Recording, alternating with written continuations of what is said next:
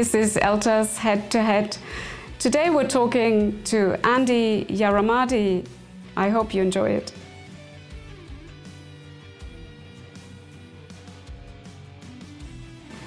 Well, um, first of all, I'm going to try and concentrate on the client that I'm trying to work with and see um, what's what are the needs of um, the students that I'm working with. If it's a face-to-face course, it's a company course, or if it's um, a university course, obviously it's different. But what I would try to do is focus as much as I could on the needs of the people that I'm working with.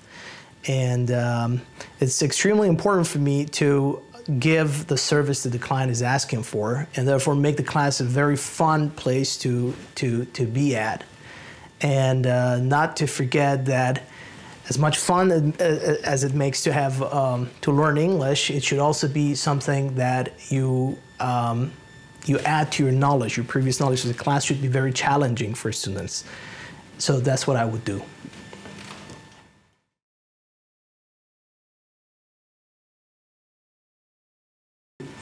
The first thing I would like my nephew to learn is that ELTAS stands for teamwork. Um, we are different people with different mindsets getting together to create values. And um, um, in my opinion, my nephew has to learn how important teamwork is and how important that item is in, uh, when it comes to ELTAS. The second thing I would like my nephew to learn is the, the, how important is passion and that people have different opinions, different jobs to do, but but still they have the passion to get together and work together and take time out of their busy schedule.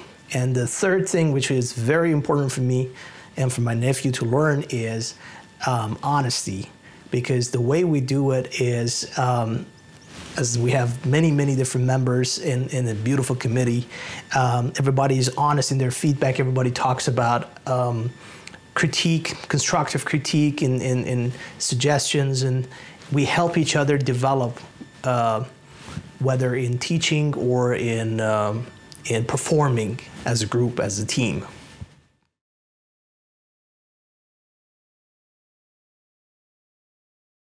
Oh, that's a very funny one now. I, you know, personally, I try to be really I try to be funny and fun in my classes, and my style of teaching is based on that. And um, I remember there were two instances where I was teaching a, a, group of students. It was like a class of 20, 22. And um, there was this one person who used to, like every 30 minutes used to go, always ask me, can I go on the toilet? And I always said, yeah, sure, Mr. Sir Poops a lot. and everybody was really cracking up. And, um, and there was a, a, second instance where we had this um, very nice lady who was relatively shy. She was like 18, 19 years old.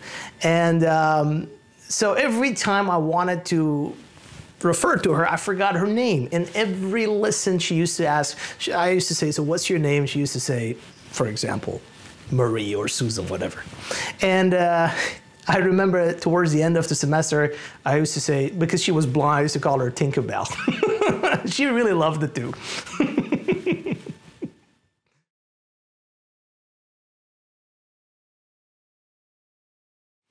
um, if you ask me, teaching, teaching begins with listening. Um, one of the biggest problems that I personally think teachers, or mistakes that teachers make, is the fact that they don't listen as much as they speak. Uh, because uh, everybody learns differently and everybody has a different approach to learning. I remember when I was a student in a Spanish class, I hated grammar. I even today I hate grammar, and I always wanted to learn grammar in context. And unfortunately, in that specific class, I never got the chance to learn grammar through context or through speaking, for example. So I think teachers need to listen more often than, than, than speak.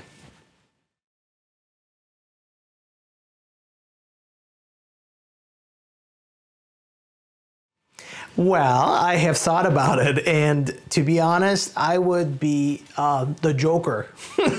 I love Joker. I know it, it's not a superhero, but it's definitely a character, and uh, I love the the controversy that you, the paradox that you see in Joker's character, and um, He's my all-time favorite, definitely, and the movie Joker, by the way. For more information about our organization, contact us at info at eltas.de. Or if you're interested in participating in one of these interviews or have questions to ask for the interviews, please contact us at social media at eltas.de. Make sure you hit the subscribe button and also hit the bell so that you're notified every time we come out with a new video. Gracie approves, don't you, girl? That's right, little girly girl. Bye.